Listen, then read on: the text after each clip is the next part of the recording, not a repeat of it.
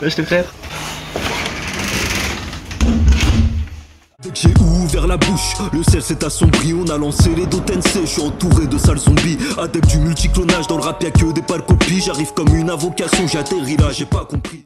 Ouais, je t'ai monnaie, c'est Mousson. On se retrouve aujourd'hui pour une nouvelle vidéo. Bon, moi je suis lyonnais, hein, et je le revendique depuis quelques temps. La dernière fois, on a partagé avec vous un monument de la gastronomie de la street lyonnaise, c'était la pizza boisée. Mais aujourd'hui, je me devais de parler avec vous du tacos lyonnais. On y va? Et on est tous d'accord, quand on parle de tacos lyonnais, ça donne faim directement, parce qu'on pense direct au gros tacos cuit au four, parfois gratiné, avec de la sauce gruyère fait maison, de la viande fraîche, de la shakshuka. Oh, rien que d'y penser, ça me donne faim, mon pote. Par contre, c'est vrai qu'on a déconné quand on a démocratisé un peu le tacos. Ça a été connu sur toute la France, parce qu'il faut dire que derrière, il y a des grosses chaînes de restos des gros investisseurs qui se sont mis sur le dossier comme il y avait des thunes à se faire. Et il y a les Chamas Tacos, Otacos, Balour Tacos, je sais pas quoi. Ils sont tous venus aujourd'hui pour grailler du terrain. Alors qu'ils proposent que des produits éclatés, mon pote. Mais après, je me dois de juger certaines personnes. Tu vois, les Lyonnais, pour moi, qui vont gamelle chez Otacos, ils ont pas de goût. Ils sont éclatés, ces gens. Comment tu veux les respecter, s'il te plaît? Oh, un peu de dignité. T'as des tacos au coin, là, à 100 mètres. Ils font des tacos 10 fois mieux avec plus d'amour que chez Otacos. Qu'est-ce que tu fous là? Surtout que les Otacos, frère, c'est quoi? Ils te mettent une tortilla, ils jettent tout son frigo dedans, euh, du lben, du cachir, de la viande de veau, du crocodile, de l'essence. Frère, euh, calmez-vous, euh, soyez raisonnable un peu sur les choses, non? Derrière, en fait, ça camoufle tout le goût. Ils peuvent mettre de la viande périmée. Et toi, derrière, t'es là, tu gamelles, oh, c'est très bon, gna gna gna. Bah, heureusement que je connais Otacos, il fait bon vivre ici. Tu fais pitié. C'est normal, aujourd'hui, j'étais tenté de vous présenter un vrai tacos lyonnais, un bon tacos lyonnais. Mais bon, je me suis dit, pourquoi pas prendre les gens à contre-pied et justement prendre des risques pour mes abonnés. Tu voulais que je te présente un vrai tacos lyonnais, et ben je vais te montrer un vrai tacos éclaté, mon pote. Et là, on va parler de haut tacos, bien sûr. Et là, tu dis, ouais, Mousson, euh, il a retourné sa veste, depuis tout à l'heure, il prône le tacos et là, il a allé donner. euh, J'ai donné combien déjà?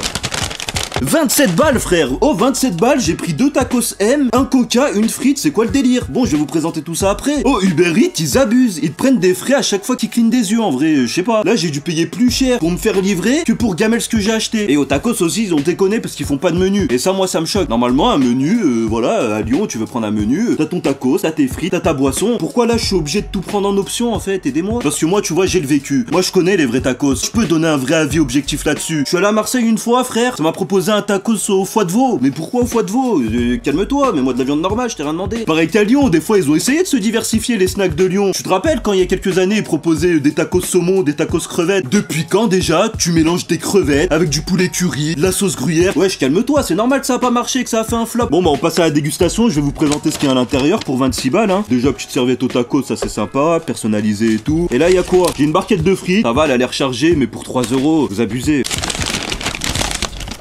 Le petit coca, ça c'est du classique encore, hein. je vais pas vous présenter tout ça, ok, on est d'accord. Et là t'as les deux tacos. Ça, tacos M, ça va, ils sont lourds, honnêtement ils ont l'air bien chargés. Je vais pas non plus euh, cracher quand il y a des bonnes choses à dire, même si je suis pas du tout convaincu. Et le deuxième tacos, voilà on y est. Ça on le jette contre un mur, on est d'accord, hein. Pas le temps mon pote. Alors le tacos du strato il est ici. Pourquoi j'ai du mal avec les tacos qui passent sous la presse et que je dis toujours faut un tacos qui soit cuit au four Parce que frère, le tacos quand il est cuit sur la presse, tu manges sur place, ok, il passe bien. Mais là, Chab, il ressemble euh, à mon mollet. Mais voilà, il est chargé, il a le mérite d'exister. et comme on fait pas de gaspillage, on va gamelle. hein. Le deuxième. Ils ont exactement la même gueule, frère. Euh, Qu'est-ce que tu veux que je te rajoute de plus? Voilà, ils sont là. Je vais déballer les frites aussi. Hop. Petite barquette de frites à 3 balles. Après, on a pris à emporter, voilà, on a pris avec Uber Eats, euh, elles sont toutes molles et tout, mais ça on pardonne, c'est des, des frites de toute façon, il y a peu de chances qu'elles soient dégueulasses, on est d'accord. Voilà.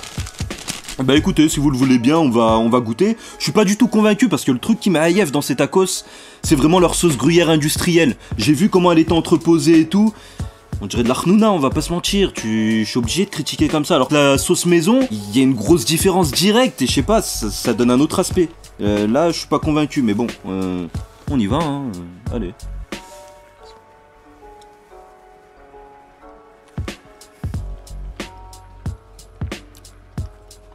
Non, je te mens pas. Au goût, il est pas dégueu.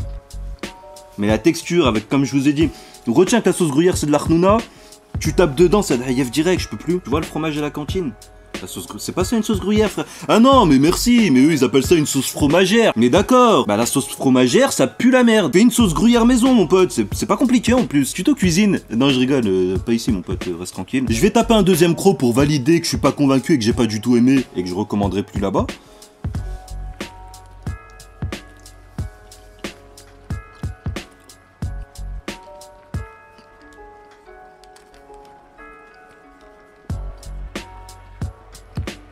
Ouais, je vous mens pas, hein, c'est. Frère, tu fais un casse d'Alcachir, c'est pareil, niveau, niveau plaisir, on va dire. hein, euh, On va pas se mentir. Voilà. Bah écoutez, je sais pas quoi dire de plus. Ça valide en fait que au tacos, pour ceux qui connaissent les vrais tacos, encore une fois, hein, nos lyonnais là, euh, qu'on soutient. Ceux qui connaissent, tu vois qu'au tacos, niveau qualité, c'est pourri, frère. C'est de la restauration rapide. Peut-être à la limite une fois en bouche-trou, comme quand tu vas prendre au drive un fiche, à la limite.